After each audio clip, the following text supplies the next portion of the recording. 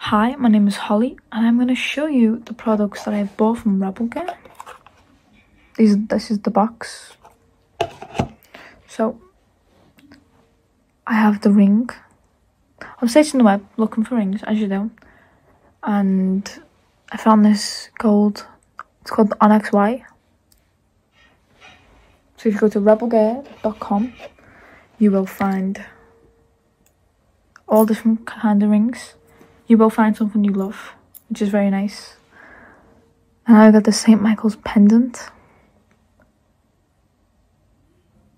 which is my favourite, I gotta admit. So you should buy from Rebel because they are very good. They have all different types, which is also very good. And